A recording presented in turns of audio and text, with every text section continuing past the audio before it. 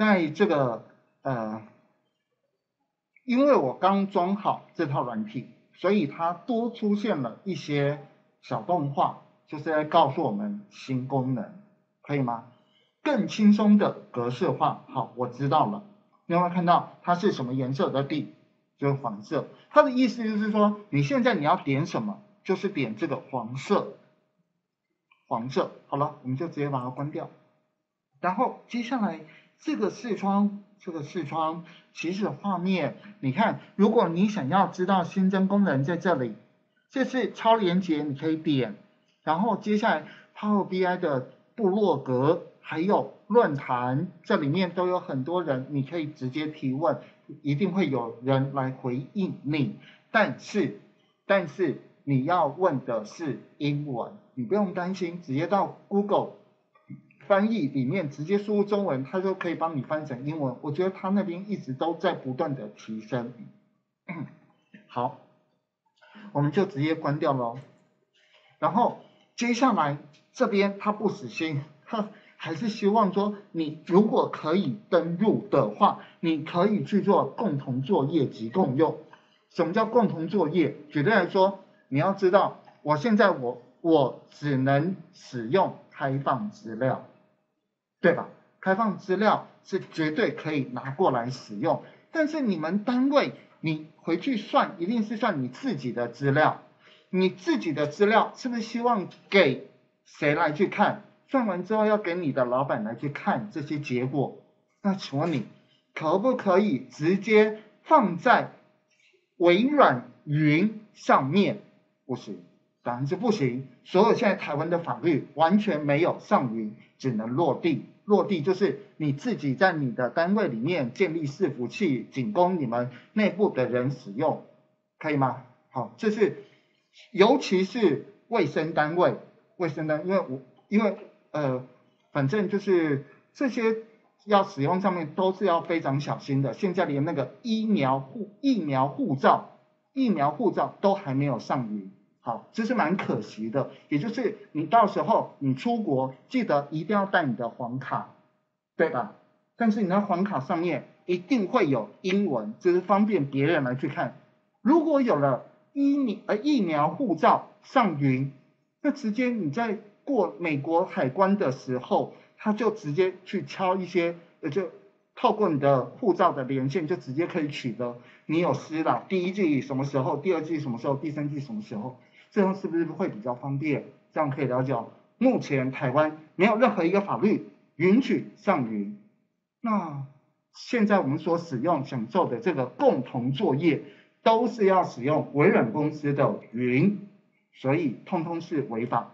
这样了解哦，好，那所以我就建议你们，你们到时候只能建立自己，就是买伺服器，然后自己在你们单位内使用，所以它就它就有一个内部伺服器的版本，好，那个都是上千万起跳的，所以它有一个替代的方案，只要你们单位曾经有买过 SQL Server，它就让你免费可以去搭建使用。可以了解吗？所以你们单位一定有买 SQL Server 吧？所以你也不用担心这件事。好，反正那是另外一个版本就对了。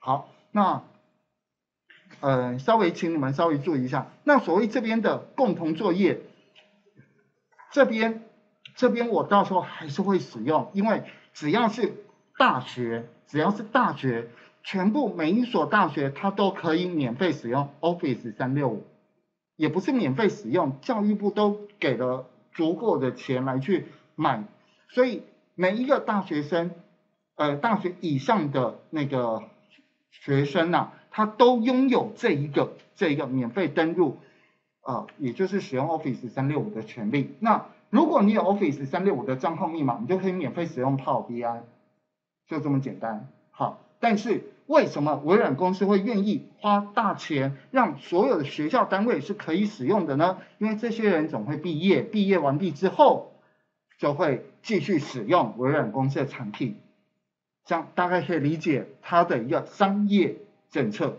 好，那我们接下来这个共用、共同作业及共用就先暂时关掉，我们先简单的介绍一下 Power BI。那你们现在应该都已经开启了 Power BI，然后在这个地方可以看到最上面，最上面功能区，这我想没问题，而且它的功能区很少，很少功能标签，非常少，常用，哎，档案跟常用检视说明，我想这绝对都是你在很多软体都会看到的。然后呢，插入，我想应该也没有很大问题，最大问题应该就是这个模型化。对不对？好，这模型化这翻译的问题，它其实就是建立模组、建立资料模组的意思。通常最重要的就是新增函数，好，新增自己去做一些函数的建立。好，那我现在重点要讲的就是常用底下的每一个功能是不是都很重要？对吧？才叫常用嘛。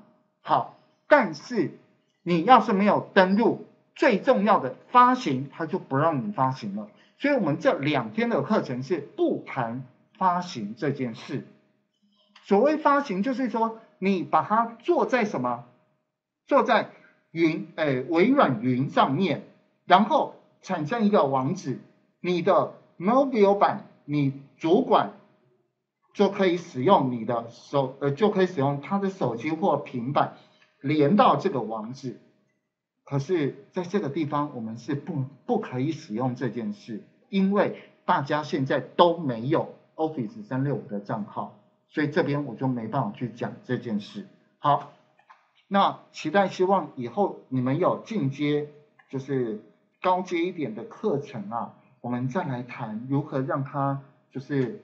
进行所谓的一个发行伺服器的版本，好，那我们接下来常用底下功能非常重要，你们一定都要学会。可是其实简单说，就是它最主要的功能就是它要取得资料，取得进出口资料，取得那个疫情期间新增确诊人数的资料。好，那。资料取得进来之后呢，你要很重要的去做 transfer，transfer 好，那 transfer 完毕之后，又必须要透过这个资料来去做第二次的 load，好，这构成了所谓的 ETL，也就是资料清理。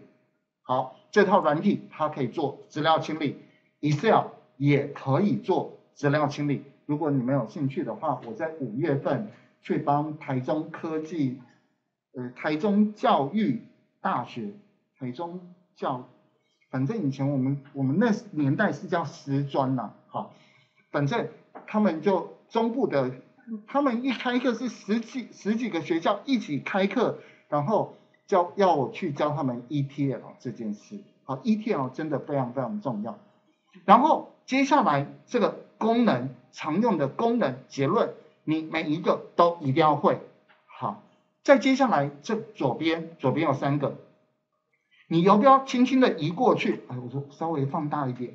左边第一个叫报告，就是你画视觉化报告的地方，也就是诶另外一个名称仪表板，仪表板。再来就是资料。资料这就很像那个 Excel 的工作表，好，到时候有资料我才能够秀一下那个画面。再来，你一看这个图示，你就要知道它是一个关联，但是它这边又用了一个英文单字叫做模型。好，不过这三个真的都非常重要，非常重要。好，接下来这就是我们的画图的区域，这是我们的画图的区域。那如果等一下你有资料，你点它，它就像一个工作表，Excel 的工作表。好了，再接下来这边有三个很重要的事情：筛选、视觉效果跟栏位。这三个东西，等一下我们要花好多时间来去跟各位分享的。好，这是我们的视觉化分析的地方，这边有。最左边有很重要的报告资料模型，好，那最右边最右边有筛选、视觉效果、视觉效果就是画图。如果你觉得这些图不是很好，不够你画图没关系，这边有点点点，你还可以取得更多。只要你是微软公司的会员，你就可以免费使用它放在网络上的一千多种。一千多种，你觉得还是不够？没关系，你可以结合 R，R 就成千上万种画图的工具，就是 R，那都可以结合来去使用，绝对够你使用。